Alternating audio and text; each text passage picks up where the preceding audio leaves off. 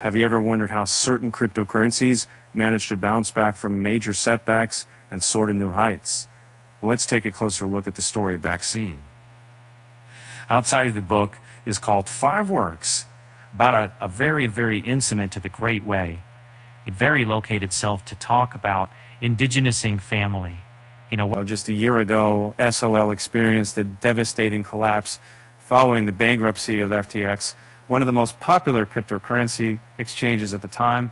Uh, the founder of FTX, uh, Sam Bankman-Fried had misappropriated user funds, leading to uh, loss of trust and a sharp uh, decline in Sol's value. In fact, the coin plummeted to as low as $8 in the fourth quarter of 2022. Um, but fast forward to uh, today, um, and, and Sol has not only recovered from its uh, post FTX losses, uh, but has also become uh, one of the top performing coins in the market, according to Gather and CoinMarketCap. SOL is currently changing hands above $36, reaching its highest level since 2023.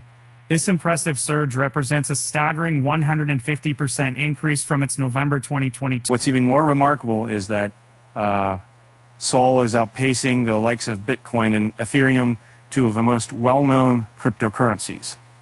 Uh, while both Bitcoin and Ethereum have also experienced poignant and natural significant rallies, with their prices increasing by over 100% from their 2022 lows, uh, Sol's growth has been more, even more impressive.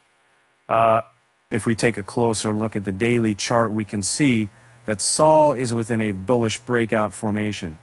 It is trending above the July 2023 high range of around $32, indicating a strong upward momentum.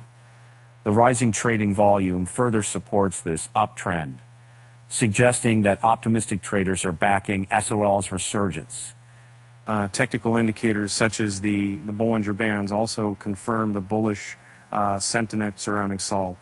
The bull bars are riding the upper Bollinger Bands, diverging from the middle band, which indicates high volatility and potential for further price increases. Uh, but what about the bankruptcy trustee of FTX? Why did they stake their Sol holdings?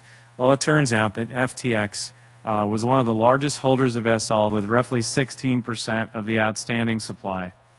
When FTX filed for bankruptcy protection, it had a significant impact on the Solana ecosystem, causing SOL prices to plummet. However, the bankruptcy court ruling allowed FTX to sell and invest its crypto holdings to repay creditors. In a surprising move, the FTX estate decided to stake $5.5 million, so indicating a bullish outlook on the coin. By staking SOL, they not only have the option to liquidate it at any time, but also stand to receive more Sol as rewards. Uh, despite this optimistic stance, um, recent reports suggest that the FTX estate uh, has unstaked 1.6 million Sol, raising questions about their future plans.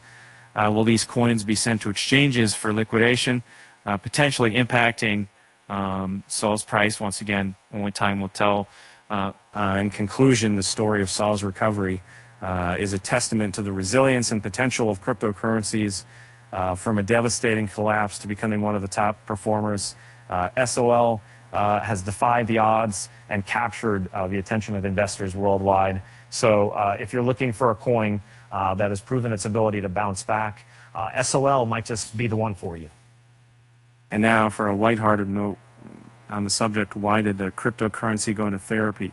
Because it had too many issues to hash out. Um, with that said, thanks for watching, and until next time.